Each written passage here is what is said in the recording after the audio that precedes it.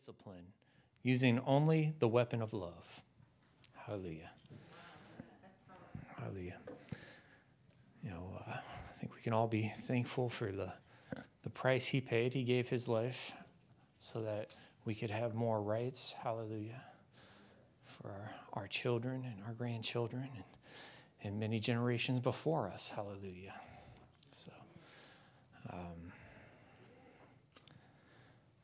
looking forward to spending tomorrow with my wife and son and, and celebrating the day together. Amen.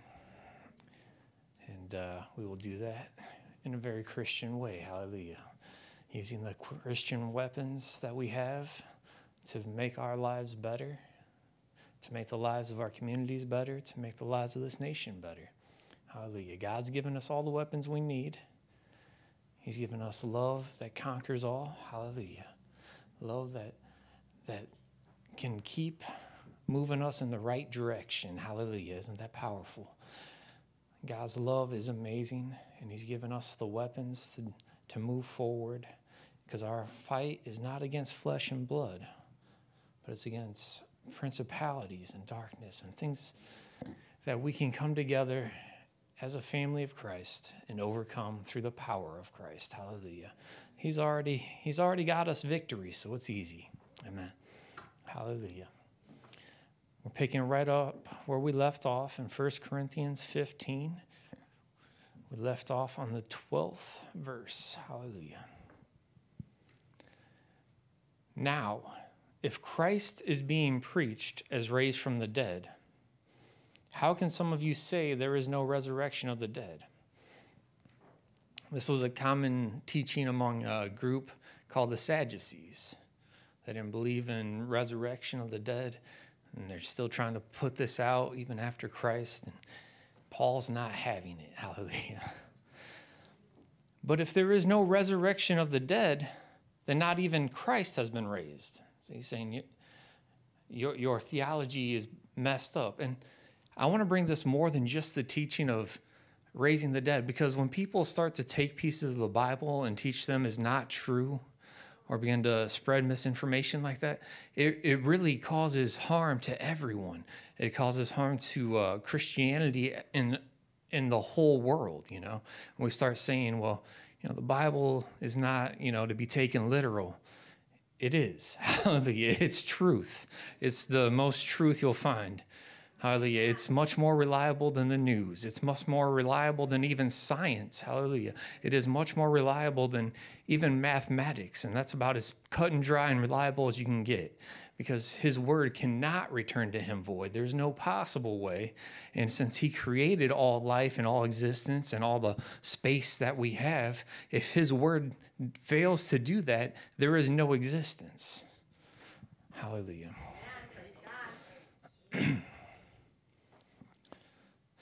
And if Christ has not been raised from the dead, then our preaching is futile and your faith is empty. You know, you can see when you start to take away things that God has done, it, it really it hurts the entire message. You can't just pick and choose. The Bible is what we have to go on, and He's given us our his Holy Spirit so that we can learn the things that are hard to learn in the Bible. But we have to desire for it. It says if you lack if you lack knowledge, if you lack wisdom, if you lack understanding, ask for it, and I'll give it to you freely. You know, it's His great pleasure to give you these things. He doesn't do it and condemn you for not already knowing it or make you feel dumb. He says, I thank you for asking because that shows you care. You know, if you're in a conversation with someone, isn't it great when they ask you questions when they don't understand what you're saying? You know, because why? Because it creates a dialogue, but it also lets them know that they're interested. They want to learn what you have to offer. And that's that's how our relationship with God is. We have to learn what he has to give us. Not just say I don't understand it, so it's probably not literal or it's you know, it's probably not useful or whatever, or I'm just going to skip these verses, you know. Ask God for understanding on it. Let him give it to you because every scripture in here is worthwhile amen and and not to be taken out of context but to be used in the entire story it's it's it's from genesis to revelation there's no uh, book that doesn't fit in. It, it all fits in. Hallelujah. And it all ties back to Jesus Christ. It points to Him from every direction, from the beginning to the end. It's all pointing to Him. Hallelujah. He is the truth. He is, he is our ministry. If, if, uh, don't be afraid to use His name. Hallelujah. Hallelujah. I see people taking way too many precautions now. They're all afraid to be censored. I'm, if you're going to censor me for the name of Jesus, I think you got a bigger hand, fight on your hand than you realize. Hallelujah. You want to unify this nation, come against our Lord and Savior. Hallelujah. Because we all love him the same. Hallelujah. And that's something that we can all agree on as Christians and church members, wherever you're at, is that we love Christ. And that's why we do this. That's who we are. Amen. And it gives power to our, our preaching and our faith. Hallelujah. When we take the word of God and know that it's true and know what happened. Uh, verse 15 also, we are found to be false witnesses about God because we have testified against God that he has raised Christ from the dead, when in reality he did not raise him, if indeed dead are not raised. So he's saying, listen, your, your point's stupid. You're, you're, you're devaluing uh, not just Christianity, but Judaism. You're, you're devaluing everything that we've ever stood for, everything that God has given us. And that's what we do when we take something from the Bible and say it's not useful today or it doesn't still have standing today. We're, we're devaluing everything that God's given us from the beginning to the end. He, he has given us the power to go forward and to overcome, but it's through the complete word, not through picking and choosing the word, right? It's, it's from understanding everything. And I know that's a process because there's a lot of information in this Bible that we've been given. There's a lot of revelation that needs to come that, that we can't even understand in our, our carnal mind. But when we let the Spirit teach us, then we understand the things that are deep in the Word, the things that you might not get from the, the written English that you're reading, but that you get from the revelation of the Spirit who teaches you all things. And just as He teaches you through school or teaches you through your workplace or teaches you through your morning routine, He teaches you the Word of God just as well. Hallelujah. So we need to allow that Holy Spirit to teach us in everything we do. And in that way, we don't get confused. We don't get uh, deceived, but we have a firm foundation in truth and we can walk by that spirit. And when we come up against something we don't understand, we can ask the Holy Spirit to teach it to us. Hallelujah. And, you know, uh, remember, it, it, it does. It all comes back to love, but love, remember, we don't have a, a good definition for it in our language. We don't have a good definition for what it really is when it comes from God because love is, is greater than anything we can explain with words.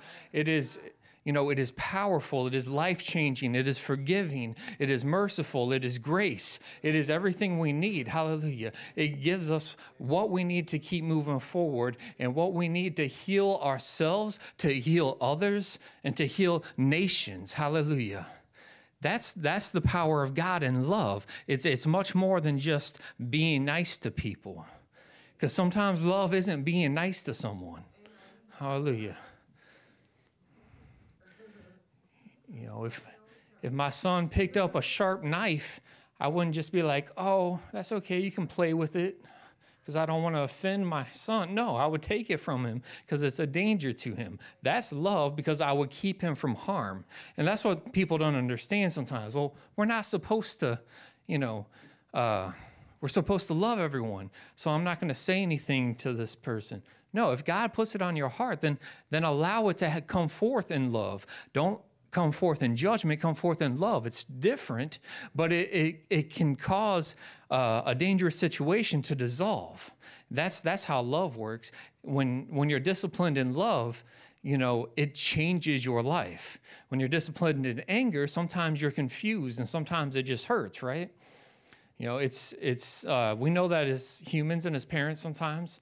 Uh, my son is, is way too young to be disciplined, but I tried to tell him when he did something wrong. He's just looking at me like, why, what? Huh? You know, he's three months old and he has no way of understanding that. But I wanted to establish that pattern in my life, even though for him it didn't matter. For me, it matters because I need to know how to show him love in discipline and no easier way because I'm not going to spank a three month old. Hallelujah. I'm not going to, you know, there's there's not much I can do, and it, and it's not important that he even learned the lesson, but it was important for me to be able to vocalize that learning, that teaching moment, that I can show love, that I care enough to teach you something, that I care enough to show you something, and that's how God loves us. He cares enough to teach us about His Word, about His gifts, about everything He has for us. Whew. Hallelujah. Hallelujah. Verse 16 For if the, if the dead are not raised, not even Christ has been raised. So, you know, you can't just pick and choose because that seems like maybe what they were trying to do at this point, what Christ was but no one else will be. Well, you can't just do that because the prophets didn't just prophesy Christ's resurrection, they prophesied all of our resurrection. Hallelujah. We go to sleep in Christ, and I'm getting ahead of the message, so hallelujah. And if Christ has not been raised, your faith is useless. You are still in your sins. See, we have nothing without the resurrection of Christ. You know, we don't have an altar down here for you to put a goat on and have it be your scapegoat for your sins. We only have one offering, and it's the the Lord and Savior Jesus Christ. He was the lamb. He was the ultimate scapegoat. He took the sins of the world. Hallelujah and he put them on himself. And because he had no sin of his own, it could not attach to his soul. So therefore, his spirit was able to revive his soul. Hallelujah. It says the chains of death could not hold him bound. Hallelujah. I love that scripture. Every time I think, and that same spirit, that same spirit that dwelled in Christ Jesus dwells in you and I. Hallelujah.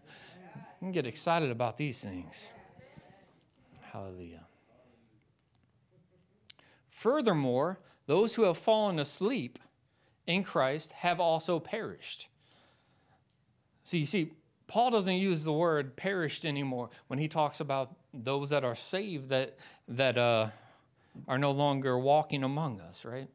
He says, you know, they're asleep because of the resurrection. They're just waiting to be woken up. Just like Jesus said, Lazarus is asleep. Well, he was in a tomb in grave clothes and had stopped breathing and stopped all vital functions for many days at that point. But he was asleep because of the resurrection. Because I'm just going to say his name and he's going to wake up. Because I'm just going to say, Get up, get out that tomb. Lazarus, come forth, right? You know, and that's exactly how it is. He just calls us by name. He knows your name. That's why it's written down. Hallelujah. There's going to be a roll call, and my name's going to be there. And he's going to say, Larry, come forth. Hallelujah. Hallelujah.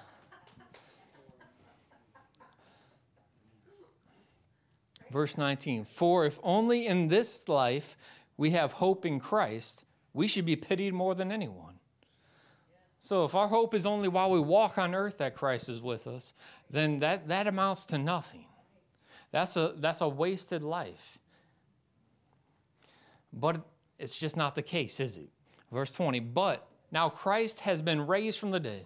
So I told you, when you see that word in the English Bible, but, you can get a little excited. Because it's usually coming at you pretty hard. It says, but now Christ has been raised from the dead the first fruits of those have, that have fallen asleep. Hallelujah. For since death came through a man, the resurrection of the dead also came through a man. For just as Adam, just as in Adam, all die, so also in Christ all will be made alive. I have my life, my being in him. Hallelujah. Hallelujah. So thankful for that. But each in his own order Christ the firstfruits, then when Christ comes, those who belong to him. Then comes the end, where he hands over the kingdom to God the Father when he has brought to an end all rule and all authority and all power. I know that was a lot to read. He's the first fruits. And, and here's what you, am I getting ahead of myself? I probably am. That's all right. Uh, when he, he says he's the first fruits, he went before us and found salvation for all of humanity. So now that everyone that gets saved is the set aside part that is made holy because you set aside the first fruits. When you set aside the first fruits, you make the rest of your crop holy, or the rest of your money holy, or the rest of your family holy. And see, now you are the first fruits to all those that get saved under your ministry, under your testimony, under your works. So now you become the first fruits to them. Hallelujah. And they become the first fruits to the ones they get saved. Hallelujah. It's just a big Christian pyramid scheme. All right. Hallelujah. With Jesus at the top. Amen. Hallelujah. Hallelujah. Hallelujah. Hallelujah. Verse 25 For he must reign until he has put all enemies under his feet. Every enemy in this world will be under his foot. Hallelujah. Every principality, every power is under the foot of Jesus Christ. Hallelujah. And he will reign until that is true. Hallelujah. Until that is seen, till they have no more rule on earth. Hallelujah. Hallelujah. The very last enemy, verse 26, to be eliminated is death. So when he eliminates death, hallelujah, that's when the resurrection can't help but be stopped. Hallelujah. It's just there. There's nothing to hold you there. There's, there's no principality over death anymore. Now it is just life. It is just truth because it is just Jesus and he has all power and all authority. Hallelujah. Hallelujah. For he has put everything in subjugation under his feet subjection. Hallelujah. Under his feet. But when it says everything has been put in subjection, it is clear that this does not include the one who put everything in subjection to him. So Jesus was not put into subjection. Hallelujah. And when all things are subjected to him, then the Son himself will be subjected to the one who subjected everything to him, so that God may be all in all. Hallelujah. See, everything has to come into line, everything has to come into God's kingdom. You know, that's that's why we have the the kingdom teaching today. It's biblical teaching that we the kingdom of earth is uh, the kingdom of God can be on earth if we allow it to rule. We can walk in it as Christians. We can walk in his kingdom, walk in his authority, walk in his blessing, walk in his power. That's the kingdom of God. And it can be here, but it's, it's not just here yet. Jesus gave us the right to have it here. Hallelujah. That's why you come into a church like this and it, it, feels different because the kingdom of God is ruling here. Hallelujah. The kingdom of God is ruling here. When you come into your house, it should feel different. The kingdom of God is ruling in my household. The kingdom of God is there. And that's so important. Hallelujah.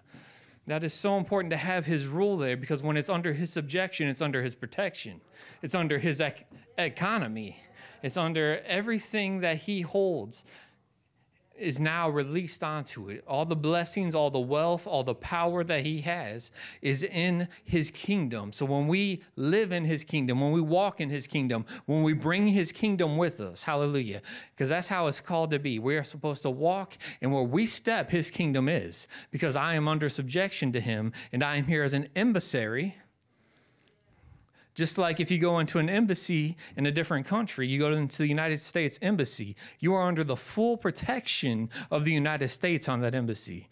Hallelujah. It is considered, you know, United States ground. It is, it is that. So we we are embass- embassies walking on earth in the kingdom of God. Hallelujah. So now where I walk, if I allow it, if I subject myself, if I die daily, if I allow it, then God's kingdom is there with me. And when you touch me, you're touching God's kingdom. When you, when you talk about me, you're talking about God's kingdom. You can't talk about me as a person because that person died when I came to Christ. So now you're you can't say bad things about someone that doesn't exist anymore because who I am is Christ. Hallelujah. That's why it's so hard to hurt the feelings of these people. Hallelujah. Paul was being persecuted every day. Didn't matter, did it? He still went out and preached the gospel because he was in the kingdom. He wasn't himself anymore. He was bought by a price, and he was a Holy Ghost filled man. Hallelujah. Hallelujah. Verse 29. Otherwise, what will those who those otherwise what will those do who are baptized for the dead? If the dead are not raised at all, then why are they baptized for them? So this is an interesting passage. This is something that uh, was happening in Corinth at the time. Uh, there were those that were lost and never received baptism. And this is neither saying you should do this or you shouldn't do this. This is just something they were doing. So he was using it to make his point. You know, they were being baptized for those that did not get to experience it.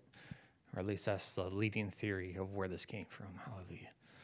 Got to get a little teaching in here too, right? If the dead are not raised at all, then why are they baptized for them? Why, too, are we in danger every hour?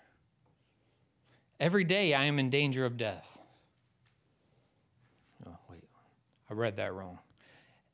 Every day I am in danger of death. Didn't see the exclamation point. Hallelujah.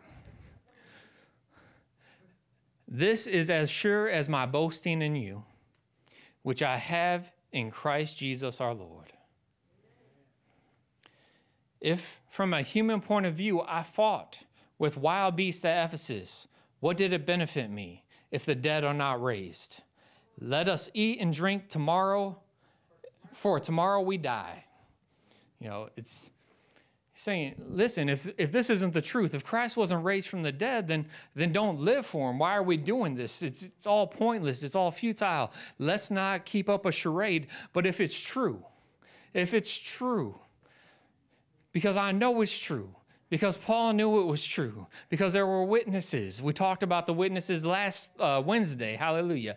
How he appeared before so many after the resurrection. We know that is true. We know that it's evidence. We know that it's uh, one of the best historical accounts, hallelujah, of any person from that time. We know it to be true.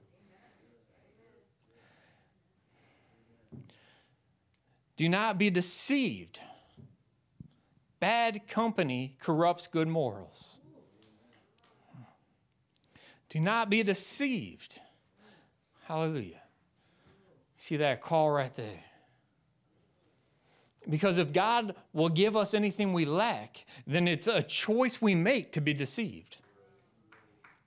If I don't know something, I can ask God. If I don't know something, I can spend time in the Word. If I don't know something, I go to Him. And instead, so many people choose to be deceived. That's why Paul wasn't putting up with this teaching. Hallelujah. You can see Paul wasn't taking an easy tone with, with the Sadducees right here, was he? Hallelujah. But he was saying, listen, don't be deceived. Don't deceive because you deceive yourself. No, hallelujah. No one's deceiving you. You're choosing to believe in deception. You're choosing to believe in your own condemnation. Hallelujah. If you believe a lie, you will be condemned. Hallelujah. King James says it even harder. Hallelujah. But you know, same definition, condemned. Hallelujah. We will be condemned if we believe this, if we choose to be deceived. You say, Well, I didn't know. Well, you chose not to ask for truth. You chose not to seek truth. You chose not to seek God. Hallelujah. You chose to rely on what you think and what other people think or what the, the mob mentality is. But we got to seek out the one truth, which is Jesus. There was no other. Hallelujah. Paul's not the truth. Peter's not the truth. But Jesus is the truth. Hallelujah. So when we come back to Jesus, we are, cannot be deceived. When everything and every thought we have, that's why every thought is supposed to be held captive by Jesus Christ. When He takes your thoughts captive, how can you be deceived? When you put on a renewed mind, how can that mind be deceived if it's brand new? It hasn't learned any, anything wrong because it's new. Stop carrying your old beliefs into your renewed mind because it won't go there. Your mind won't be renewed if you're holding on to the old. Hallelujah. If you're holding on to what isn't true, then God has no place in your life. But when we seek the truth, there's nothing better. When we seek the truth, it convicts us unto righteousness. It brings us into justice. This is God's plan for the world. Hallelujah. Hallelujah. You want a better world for people? It's through Jesus Christ. He was the only one that knew the way. Hallelujah. For people to be treated and honored and respect and to have justice and righteousness abounding.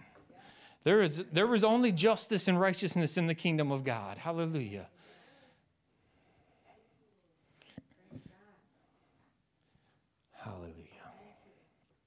Do not be deceived. Bad company corrupts good morals. Hallelujah. You can, you can see this today, can't you? We've literally created platforms for bad company to get together. It's called social media. We've created these platforms for bad people to get together, spread deception. I mean, Paul's talking about it before it ever happened, before it ever existed we get together and we wonder why people that were raised right, people that, that should know God and know the word are being so deceived. It's because bad company corrupts good morals. So you start making bad decisions because not only are you bringing people together with a shield, hallelujah, because you're not face to face, so you'll say worse things about a person Hallelujah. That's why I just don't post. I just, I am the most boring follow you might ever find uh, because I just stop posting. If I post something, it's a scripture and a picture of my son. So you're welcome. That's a that's a story because it's not for you, but I like it. Amen. Hallelujah. You know, it's because you have to understand that that there is so much that that can go wrong, but there is so much that goes right with God. There is so much that we have to worry about when we come together and uh, we start to corrupt good morals. We start to have these places where people can go and just talk evil, talk deception, talk lies, and just keep piling it up. And not only that, hallelujah, I knew I'd get back to my main point. But there is actually a reward system built into it. You get more likes, you get more things. And not only is it a reward system on the social platform, but that becomes a reward system, and maybe some of you don't know this, in people. It, it actually triggers a dopamine release, just like doing a drug or, or, or, smoking a cigarette or anything else. It's the same addiction. It's the same. That's why you see people, they're always on it. They always have to post that one thing because I've got to get five likes today or I'm just not going to make it. I need my fix. Hallelujah. You know, and my fix might come better if I say something inflammatory, if I say something negative. Because I'll tell you what, I don't get a whole lot of likes on my Bible verses on my beautiful son. Hallelujah. I get some from other Christians, but I'll tell you what, my non Christian old friends from high school and things sure aren't liking it. If I was waiting for my fix from that, I wouldn't be getting it. I don't have a fix from my, my, my social group. Hallelujah. And that's, that needs to be all right with Christians. That's not what we're built for. My fix comes from Jesus. You know, uh, we had that go back to the 90s. Uh, used to talk about being a Jesus junkie. Hallelujah. You know, there's different things like that because Jesus gives us all that we need. Our, when we go to Him, you know, we get that same experience in even a greater measure. He, he releases all the things in your body that are good. He knows how your body works, just like he knew where the net needed to be cast for Peter to make the big catch, huh? Hallelujah. You think science knows how your body works. You think medicines can affect your body. You think drugs can affect your body. Think about how the spirit can affect your body, how God can come into your life and start to change depression at the root source. Hallelujah. He knows what's happening with the neurotransmitters. Most medicines, they don't even know how they work. Hallelujah. It's just a guess. That's truth. Amen. Hallelujah. All right. So do not be deceived. Bad company corrupts good morals. Verse 34 Sober up as you should and stop sinning. Caught the exclamation point that time. Hallelujah. Stop sinning. For some have no knowledge of God, and I say this to your shame. He was writing to Corinth, but it's just as true today. There are people that have no knowledge of God. And even worse today, they have false knowledge of God. And that is to our shame. That is to your shame. Take it personally. That is to my shame. That is to my shame that these people don't know God. They don't know the truth.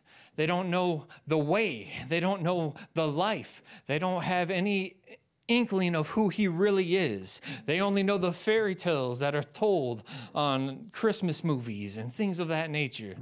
I mean, come on. There, people know more about the stories that are written in children's books than they know about the stories written in the real Word of God. They don't, they don't even know, hallelujah, what the Word of God says or how it's powerful, how it can change lives, how it can heal the sick, how it can raise the dead. They don't know that it's true, how it can provide prosperity, how it can get and break off generational poverty. Hallelujah. How it can retrain your, it can retrain how you think, how you walk, how you act act. It can do all of these things, and it is so important. Hallelujah. It is the greatest thing that is in my life is that spirit of God that is in me, that is retraining me. Hallelujah. Hallelujah. He didn't, he didn't stop when I got saved. That was the starting point. Salvation continually is a work. I'm continually working out my salvation. I, I reverence God. I'm even scared to offend God. I'll take it there. Hallelujah. Not a popular thing. But I'll tell you what, that's how I can work out my salvation before Him. Because I know I can't do good enough works. I know that I'm not someone who deserves heaven. If you sinned once in your life, you don't deserve heaven. One time. Not even the action, the thought. The very thought. See, we don't hold ourselves responsible for the thoughts we have, but yet the Bible teaches us that we are responsible and we need to give those thoughts to the Lord. Hallelujah.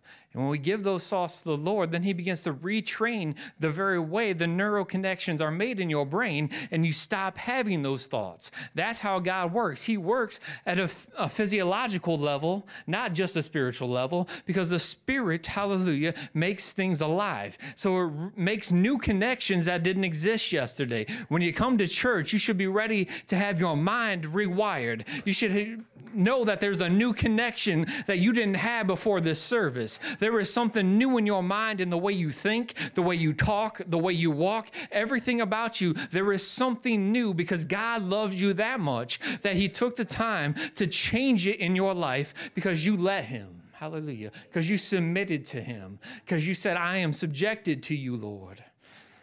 I come under your rule. I'm in your authority. I'm in your house. Hallelujah. You know, hallelujah. You know, it's a it's a great honor to be in his kingdom. It's a great honor to rule and reign with him. Hallelujah. These are the things. But we need to learn how to be kings and royal priests. Hallelujah. It's a promise. That's who we're supposed to be, but are you? Are you really, would you call yourself royalty right now? How you live, how you walk, how you act, the decisions you make, the way you approach money. But the Word of God says we are if we're in His kingdom. We're spending too much time outside the kingdom. We're spending too much time in the world system. We're spending too much time settling for who we're told we are. Well, I don't need a man to tell me who I am or a, leader and authority to tell me who I am when I've su- submitted myself to the Most High God and His Son, Jesus Christ, is my brother. Hallelujah. Not just my Savior, He's my brother too. I'm family, I've been engrafted in.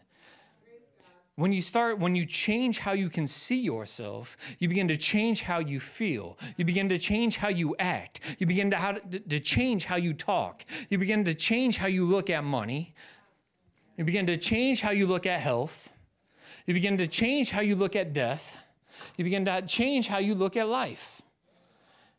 Because now, what is unexpected and mysterious to the world is known to me through the Holy Spirit. You know, I, I have the gifts of the Holy Spirit which teach me and show me things that are unseen. But how, how much time do we spend looking at the unseen? How do you look at the unseen? Well, not, not with that mindset, you can't. Not with those eyes, you can't. But when I change my mindset and I open up spiritual eyes, now I see things that no one else sees. Well, hopefully here everyone sees it, but you know, in the world no one sees it. Those that aren't in Christ, they can't see it. They can't understand it. And it can be frustrating. Hallelujah. Sometimes you're trying to talk about spiritual things and you realize that person doesn't have spiritual ears, spiritual eyes, or a spiritual mind. And you're just sitting here like, uh, you want to talk about sports? I don't, you know, it's, it gets, you know, it gets nowhere. It's a waste of time. It says, don't cast your pearl before the swine. You know, it's saying don't cast something of value before someone that doesn't understand the value of it. The pig will just eat the pearls. It doesn't understand that there's value in those. Hallelujah. And it, and it can't learn from it. It's not getting anything. It's not becoming, it's not improving its situation by eating those pearls. Matter of fact, its body's, even though they can handle everything, it's not going to process it and get any nutritional value out of it. It's just a waste. You've given something that was valuable to something that was unclean and unholy. Remember, the pig is unholy. Hallelujah. It's unclean. It's truth. uh, some people are saying, but they're delicious. I don't even remember what they taste like. It's been so long. Hallelujah. Don't miss them. But uh, that's that's really uh, more for the point of the illustration than anything else, because sometimes we lose that that meaning because it's not taught anymore. You know, the reason it was a pig is because it was something that was unclean, unholy, something, and that's that's what he's saying. Don't share the wisdom of God, the pearls of wisdom, right? We all know that expression. Relate to that more than we do the pig, because it's just not taught as much anymore. We know that we shouldn't waste our God given things on people that are not holy, that are not set apart. Instead of giving them wisdom, you need to offer them salvation. Because when they have salvation, now you can give them wisdom from God. See, we're called to give that wisdom of God. Hallelujah. But after salvation. Hallelujah. Oh, God's teaching. you know, a lot of times we try to do it backwards. Man's way would be to give them the wisdom of God and convince them. But God's way isn't, it's to give them salvation and experience, and then you can give them the wisdom to grow and develop. We try to win a debate with someone that can't understand the things we're saying. It's ridiculous. You know, uh, I'm much more educated than my son, but I can't win a debate with him. He doesn't understand a single word I say.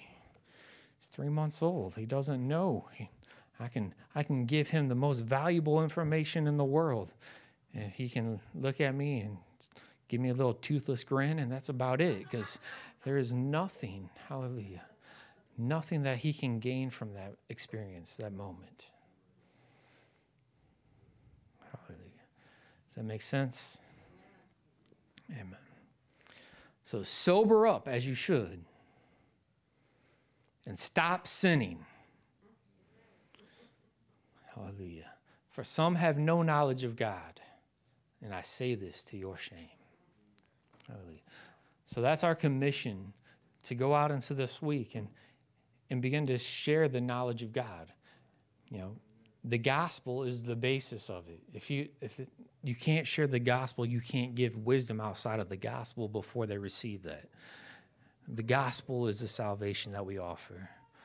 Make them understand the truth of it. Read with them. Tell them, "Hey, you want to read through John? I'll read it with you. We can talk about it every day. If it's someone you see every day, make it make it fun. Make it make it your conversation. I mean, how many times how many topics do you really have to talk about with the same people every day? I mean, sometimes you're working at the same job for 20, 30 years, seeing the same people day in and day out. But if you get a Bible plan together, now all of a sudden you have someone to talk about First John with. Now, oh no, we got to John 3:16. It's going to be a good day, you know. You got you got something to look forward to. You've retrained your mind while offering salvation to someone. They might not get saved, but at least you've done your job. Your job is not to save them, it's to share and spread the gospel. We get it, we get down because uh, no one's getting saved. No, Jesus saved them. That's his job. He's the only one that can, the only one that will. Your job was to go and spread the gospel. You know, don't take on a burden that wasn't yours, but don't lay down the burden that is. Let us share the gospel. Let us bring people to the gospel. Let us bring them through the, the gospels. Hallelujah. All four gospels and the book of Acts. I really believe you need to needs to be taught together. Amen. It's the continuation of the book of Luke. So it really is part of the gospels. I don't care. it's just truth. Amen. It's it's a good way to do it and it shows where you're going to end up next. And from there you can share all the wisdom of God. You can open their spiritual eyes, you can open their hearts, and you can change the way they think, the way they act. Because that's not what it's about. Sharing the gospel is not about getting someone to stop sinning. It's about sharing the knowledge of God. Let salvation do its work. Let the Holy Spirit convict onto righteousness. We get so caught up on doing things we're not responsible or, or capable of doing. Hallelujah. Some of us think we're experts in every area because of God when you haven't learned a single area of God yet to share. But let's uh, see our burden and, and share the gospel with the, with the world. And it's up to them. If they don't accept it, don't be mad or discouraged, but know, guess what? There's someone next door. There's another person right there. It says, shake off the dust from your boots and go on. You know, it's so don't give it another thought. It's not supposed to be a lifelong journey to get one person saved. It's supposed to be a lifelong journey of sharing the gospel with, with as many as you can. As many that will hear it, then share it. Because sometimes the person you think that doesn't want to hear it is the one that wants it the most. And they're just better at hiding it than most people. And then, hallelujah and some, but sometimes we get so caught up, don't we, on that one person. And you know that's a trick from the enemy. They, the enemy wants to steal your time because time is limited. We only have so many days we walk on this earth as human beings, and that time is limited. And if he can steal you your time, I mean, come on, we've all had this moment. You spend so much time working with a person and, and nothing changes and nothing changes. And really, God saying, go out to the masses and, and spread the gospel, you know, to, to 30 people. And you've spent 30 years on one person, you know, instead of 30 people in one week, you know. It's, it's, a, it's, a, it's a trap of the enemy that we need to recognize. We're being deceived and we don't know it because we haven't asked God. We get so caught up on a person instead of on God's people. Everyone on earth is God's people. They don't have to look like you, talk like you, go to the same school as you, but you know what? They deserve the knowledge of God just as much as you did. Hallelujah. Hallelujah. Amen. Hallelujah. Amen. I don't think I want to go any further tonight in the Word. Hallelujah. We went through 22 uh, verses there. That was a lot. So go back, read over it. I went through some of it fast. Didn't touch any of the eschatology teaching in there because we'd really be here all night. Hallelujah. And, and quite honestly, I'm not prepared for it either. So, all right. Uh, so, uh, I love you all. Thank you for being here and part of this teaching. But take that commission with you. Jesus gave us that commission and never died to go out and share the gospel. Hallelujah. Find yourself a, a good accountability partner because that's what it is, two by two, and go and share the gospel. Amen. Don't get caught up trying to do the whole work of salvation. That's not your job. Share the gospel. God might have you do something for a person, a new believer, and and things like that. But that's not your job. That's not the commission.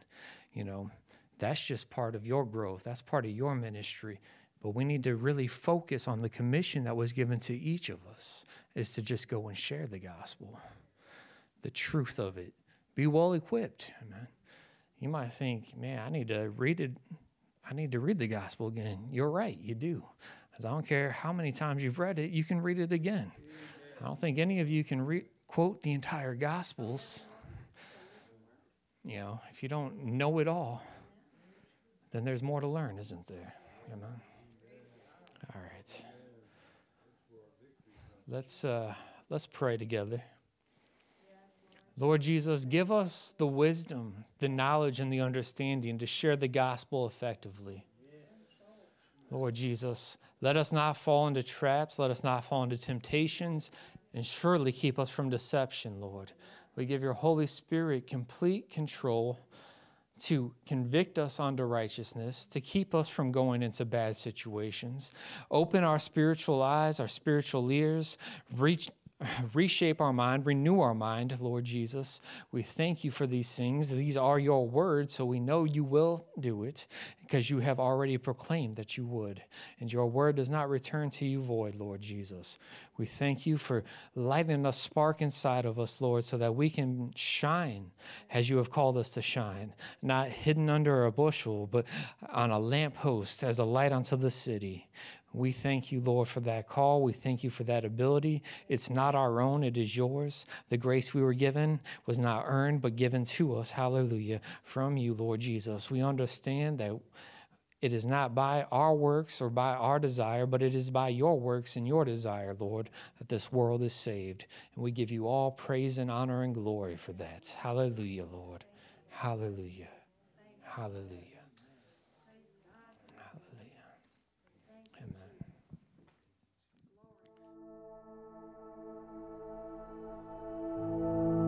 Thank you for tuning in to our stream. However, this brings a conclusion to our service. We would like to invite everyone to help us out by making any donations as you please, as they do help us to continue our ministry. If you would like to send a gift online, donations can be made using the donate button at our website, faithtemplebg.org, or if you would prefer to send something in the mail, all checks or money orders can be written to Faith Temple and can be mailed to the address 175 State Street in Bowling Green, Ohio, zip code 43402. We really do appreciate any and all gifts sent in. We thank you for tuning in to our stream, and we hope to catch you on the next one. We love you, and God bless.